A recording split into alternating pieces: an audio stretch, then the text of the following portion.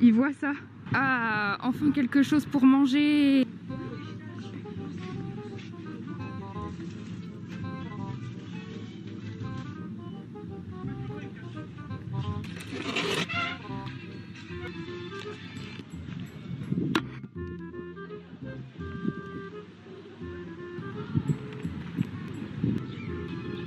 J'ai enfin trouvé un spot. Par contre là, il y a le vent qui est en train de monter, donc j'espère que vous allez m'entendre.